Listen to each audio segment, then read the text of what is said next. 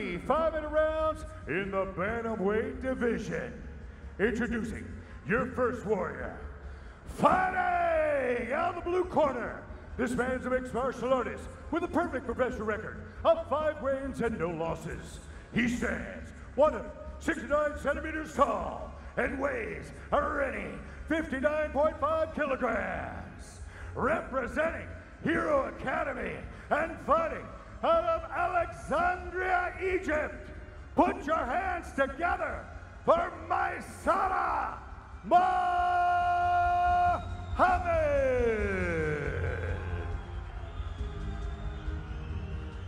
And his opponent, fighting out of the red corner. This man's a mixed martial artist with a record of 12 wins and 3 losses. He stands 178 centimeters tall and weighs already 61.7 kilograms. Representing IJJ, Ultimate MMA, and BFC Gym, and fighting out of Bangalore, India. Please welcome Mohammed Sher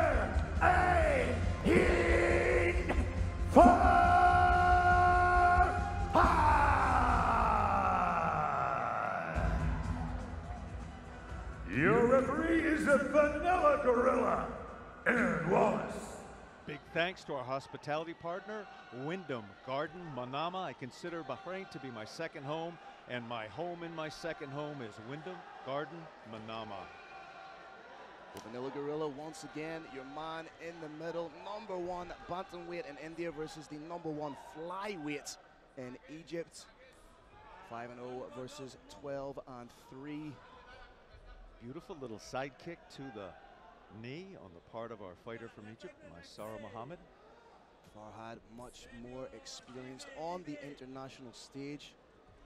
Nice and calm, trying to get off with those leg kicks, showing that Muay Thai background. Changing levels well, kick to the leg, kick to the body. Wasn't quite on court with the hands yet. Little fake of the knee to try and elicit a reaction from Maysara. That lead side kick to the knee you can find in self-defense manuals from the 1910, 1920s. Only recently has been widely adopted in mixed martial arts. It can be not just effective, but vicious. Solid leg kick from Maysara Mohammed. Push kick to the knee. That side kick was just a little bit too low. If you hit on the kneecap itself, it can actually hurt your foot. You want to hit just above it, half an inch or so above that kneecap. Fakes with the hands coming up top. Maysara leading the dance a little bit here, but it's almost as if Farhad is just waiting to uncork a big right hand here.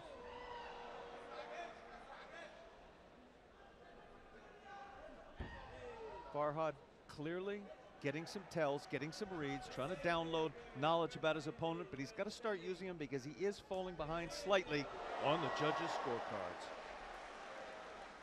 Parlays a kick into a spinning back kick. Both men keeping a low stance. Neither one seems interested in clinching with a takedown right now. Interestingly, neither man has a win on their ledger by submission. They like to get it done on the feet, and if you have knockout power, Beautiful straight right hand. if you have knockout power with these tiny four-ounce gloves, So I was alluding to earlier, Phil, when I said he's getting a lot of reads here. He's getting tells. He's learning what his opponent does at certain points, and then he's trying to take advantage of him with that big right hand. Sarah Muhammad got a big straight of his own. He's got it cocked by his jaw. game plan of Maysara Mohammed seems to be to attack that lead leg, particularly the knee of Farhad. Attacking that knee joint, if it injures the joint, great, that's a win. It also allows you to maintain distance, keep your opponent where you can set up that high uh, round kick off your back leg. It also takes the pop out of the step. As we know, Farhad's so good at changing and covering distance quickly. You take the knee out, you won't be able to be as quick to the punch, as sharp. My Sarah showing, as you referred to earlier, a little bit of a, a karate stance, a little bit of a taekwondo stance, not setting down fully on his shots. It means they don't hit quite as hard, but it definitely increases the likelihood of them landing.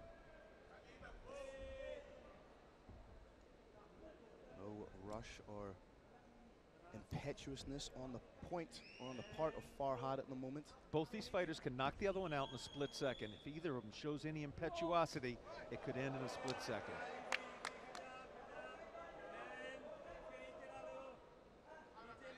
That's, great. Oh, nice shot got through there from Maysara. Little nod of acknowledgement from Farhad. Always has that big right hand in the locker, lands it beautifully.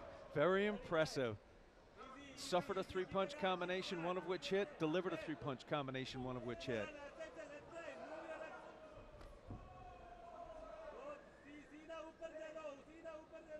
If Maysara's sidekicks, that lead leg, start to bother Muhammad Farhad, he simply needs to circle a little bit. Nice that kick is no longer there when you circle around. Nice little check kick from Maysara, caught Farhad coming in.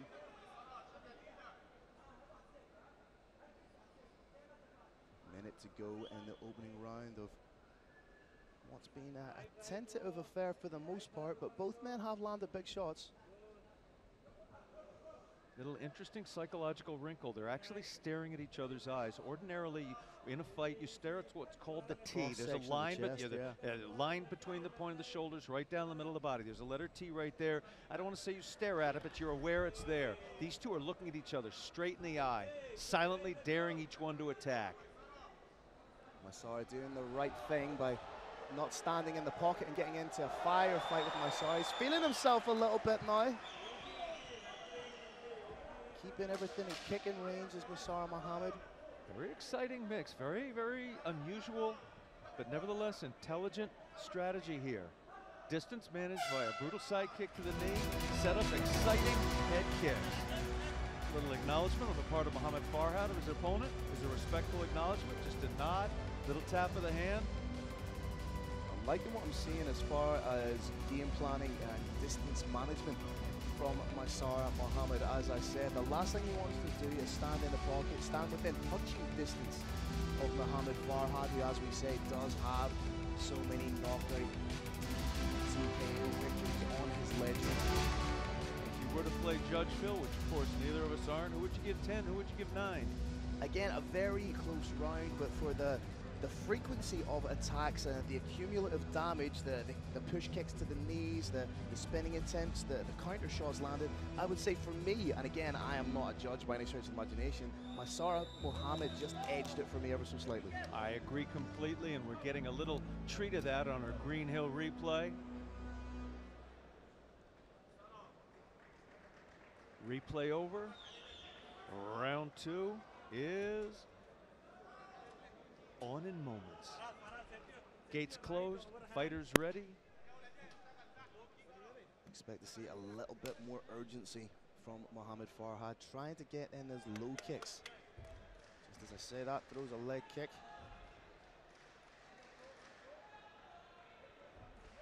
Chance of let's go Egypt. Starting to rattle through the crowd a little bit. Maysara maybe letting his opponent get just a little close. There it was. Nice, just clipped the chin. Maysara just a s- inch too close, allowing his opponent just an inch too close, just a little too confident. Perhaps got a little bit too comfortable there.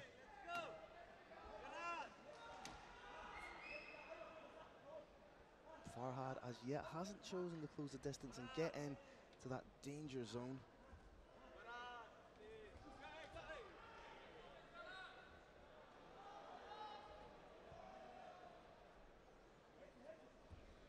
Both fighters, of yeah. course, capable of intricate wrestling games, intricate submission games.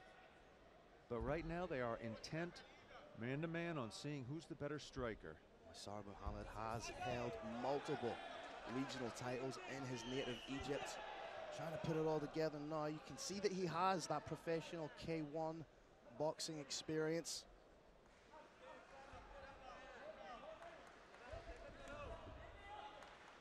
Maysara's back's a little too close to that fence. Yeah, like to see him implement some lateral movement, kind of skirt on the outside, along the outside, as opposed to backtracking up to it. Putting together strikes well. It's just comes so quickly. And I think bantamweight seems to be a much better fit here for Maysara Mohammed. Interestingly, though, it's Farhad in on the takedown. Little change of pace here with big, big results. We did not see this coming. Big takedown, huge fence grab. Oh, we're going to get a stern, stern, stern warning for the fingers inside the fence. The referee, Aaron Wallace, was not happy about that. Yes, the takedown was completed, but it stalled the momentum of the takedown a little bit. What we were going to see was a big dump takedown, but what we saw was the impact being lessened from the fence grab, which allowed Maysara Muhammad to get back up a little easier.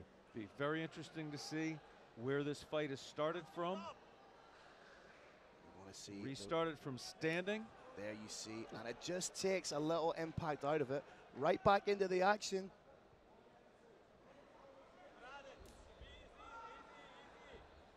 Maysara going back to the well with that low kick and what that little push kick to the knee does, it kind of puts a little tick in the mind of Mohamed Farhad thinking that that's coming, which then gives credence to the level changing going up with the strikes. Same thing with that little feint of an outside single. Showing the uppercut to try and elicit a reaction, turns it into the straight. Isn't far away when he's going to the head with that kick. I think Mohamed Farhad should have pulled the trigger when he saw that back exposure.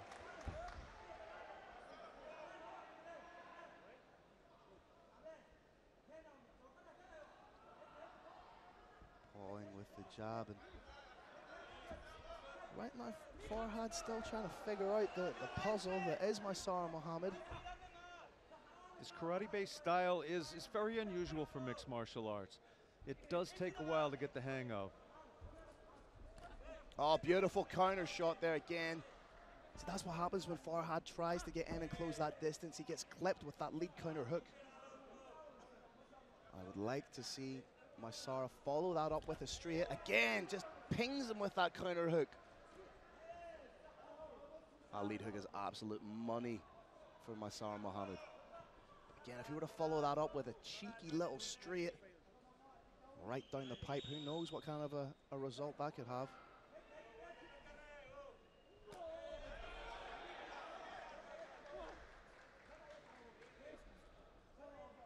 If anything, it's Maysara Mohammed, who's been turning up the, the work rate a little bit in the second round.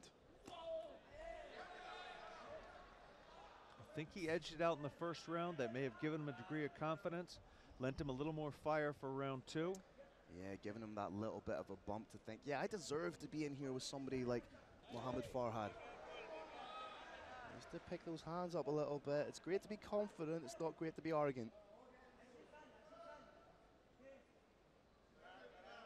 Throwing feints again, just trying to keep Mohamed Farhad where he wants him to let him know that should he charge in, a shot waiting in the chamber.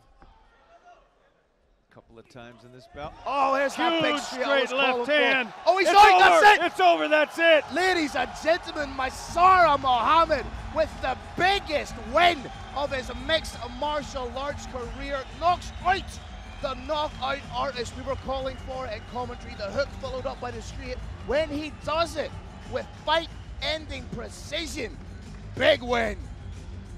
Let's look at this one a second time. Boom! There it is. Straight left hand. Reminds me just a little bit of who, Phil? Friend of Brave Combat Federation, Conor McGregor. Beautiful. Straight left out of that southpaw stance. Absolutely Concussive gorgeous. force landing on the cheek. And just Far Farhad was out out right there. Well, not out, but he was completely dazed. Referee Aaron Wallace giving Mohamed Farhad every opportunity to continue in the fight. Forced to stop the action. Maysara Muhammad moves to 6 and 0 with his fourth win by a KO or TKO. Obviously, the move up to bantamweight has paid dividends for Maysara Muhammad. I think he may have found a new home here. Phil, it's one of the things I love to see. The scourge of mixed martial arts is the culture of extreme weight cutting. It's the fight before the fight. It, it, it's a fight that leaves athletes so they often can barely walk just over 24 hours before the actual fight. I'd like to see the end of extreme weight cutting in mixed martial arts, seeing fighters move up and do even better. It just warms my heart. We're getting a call for a title shot here Well, now he's going to be a very interested spectator during the, the Hamza Kooheji Brad Katona fight. Quite possibly the very best version of Maysara Mohammed we have seen, and at only 23 years of age, the sky is the limit for this young man. There used to be a misconception, Phil, that those karate-style punches didn't have enough pop on them to work in the mixed martial arts cage. Like all martial arts, they have to be tweaked, they have to be modified to work under mixed rules, but that punch works.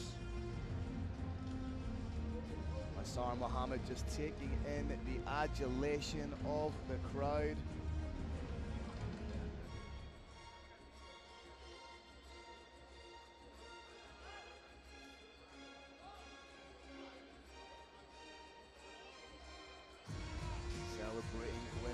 Coaches. And as I say, who knows what's next for this young man? Referee Aaron Wallace calling him into the center. Carlos Kramer is ready to give the official decision.